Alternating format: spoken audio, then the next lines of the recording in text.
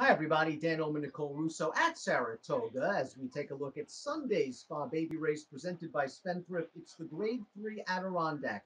Two-year-old fillies going six and a half furlongs.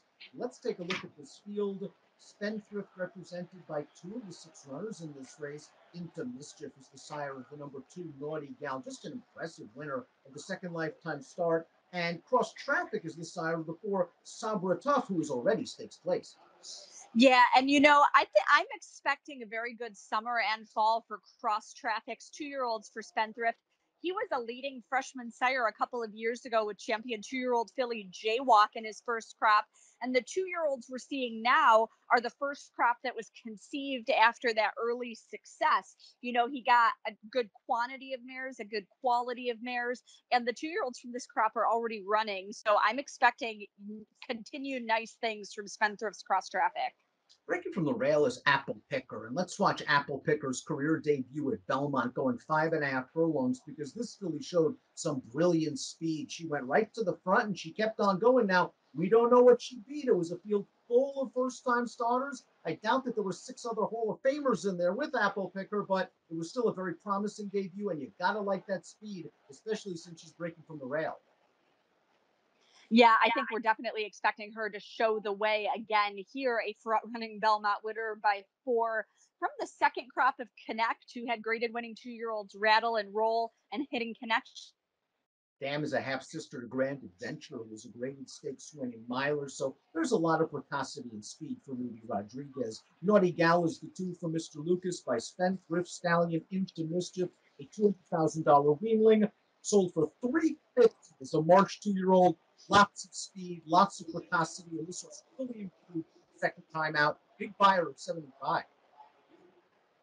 Yeah, that 75 is the best in the field. And she's the only one in this field to win at six furlongs. They're going six and a half here in the Adirondack. And you know, she finished fourth in her debut at Churchill behind two next out winners, and she was bothered in that race. And that was a runaway winner of that uh, Churchill maiden over another next stat winner. It looks like she's been facing some nice fillies and losses. Promise of Hope is the number three, going out for trainer Tom Amoss off of a pace pressing victory at Churchill Downs on July the 1st. And this horse was no secret. She was bet to favoritism in a field of seven other first time starters. And it was a really professional, solid performance. I think this filly might have a future. I think so as well. And I think that she's one that you're going to get value on in this race with the presence of, you know, some stake seasoned runners in here by the versatile stallion Ghostzapper and picks up Jose Ortiz for the second outing. Like what I saw, Nicole, from the four Sabra Tough and the debutante. I know she didn't get the job done, but for a filly that showed speed in her career debut, she fell far behind early and was not phased in the slightest. She showed the versatility to get up for second. I think she is a professional daughter of Spendthrift Stallion Cross Traffic. There's plenty of speed on the bottom of this pedigree. The second dam was a great mistake. Yeah, and you know, I think I, am glad that you highlighted how well she closed uh, when showing a different dimension in that race. I think there's plenty of pace here in the Adirondack, and you know, having that dimension could be very valuable to her. She did be a next out winner on debut. She's made three starts already. She's got a nice foundation for Dallas Stewart, who knows how to get a horse on the board at a price in a big race. Although the number five, Janice Joplin, is still a maiden, she is already graded stakes placed for trainer Mark Casse. This is a daughter of California Chrome. Let's watch her third place effort in the Schuylerville opening day at Saratoga. Again, she kind of missed the break a little bit. That's been her sort of bugaboo throughout her two lifetime starts, but she was able to kick on in the stretch. The additional distance should help, and I think she's hoping for a little bit of pace up front. Flavien Prat retains the mount. Yeah, another one hoping for that pace up front. And I think that she's going to get some. As you pointed out, she's still a maiden, but she's turned into fine efforts while still kind of learning the starting gate game a little bit. I think having that little bit of extra distance should help her. She's the only one in this field to have raced over the Saratoga track previously, which could be to her benefit.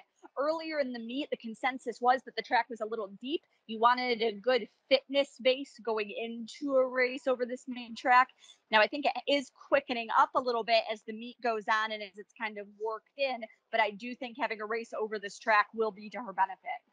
Damaso completes the field. She's a daughter of Outwork. She'll be making her dirt debut. But if you're worried about her handling the surface, that recent bullet workout allays fears. Let's watch the My Dear Stakes, her second start. This is, of course, up in Woodbine over the Tapeta surface. And she was a little bit grumpy behind the gate that day, but she came with a good run to finish third. Uh, I like her outside post position. I think her trainer is very underrated with two year olds. Tim Hamm, extremely underrated. He's an Ohio based trainer, but when he brings these two year olds to Saratoga, which he's done in past years, uh, you know, he, he doesn't just come to enjoy the spa, he comes to perform. This is a daughter of Outwork, who is a was a good two year old in his own right. He's a good two year old sire by Uncle Mo. Moving Polytrack to dirt, I think she'll enjoy that surface. And as always, I'll encourage you to check out the Clocker reports produced by his colleague, our colleague Mike Welsch and his team right here into that work of hers. I think this is a live horse. Let's take a look at our top picks for Sunday's Spa Baby Race presented by Spendthrift, the Grade 3 Adirondack. I'm going with the Spendthrift sired filly Naughty Gal for D. Wayne Lucas. Showed good speed second time out, earned a gaudy Beyer speed figure, and I think she's going to show speed yet again. I like that she's one at six.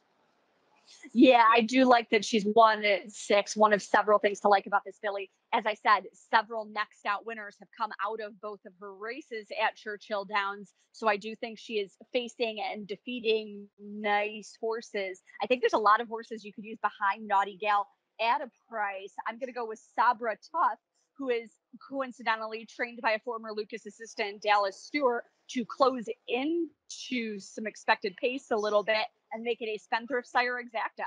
Maybe Janice Joplin can also get a piece from just off the pace, but we're rooting for Naughty Gal and we're rooting for another two year old runner by Into Mischief. Good luck.